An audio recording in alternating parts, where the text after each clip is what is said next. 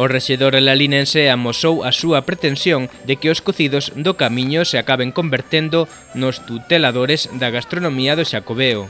Nos o que pretendemos é que facer algún día eh, pouco a pouco iremos mirando os distintos concellos facer un congreso destes concellos para que nos poidamos ser os tuteladores da gastronomía do Camiño de Santiago. Uh -huh. De tal maneira que o Camiño francés marcaremos unha ruta donde decimos que é o que se pode comer ao longo dese, dese camiño. E como os peregrinos normalmente uh -huh. consumen moita enerxía porque ao andar que, eso da, da fame, pois que mellor que restaurarse cun bo cocido ou con calcar outra vianda dese camiño.